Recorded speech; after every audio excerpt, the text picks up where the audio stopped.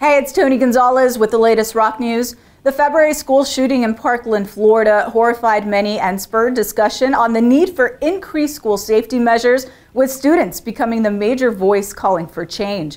Hearing that call, the producers of Fort Rock, as well as some of the acts participating in the festival, have lent their support to the Students Fighting Guns Since Adults Won't movement.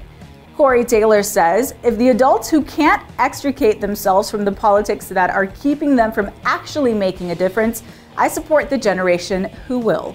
Halestorm added in a statement, You are the ones we've been waiting for. Our future is what you make it, and the path is yours to blaze. We are proud to stand by you.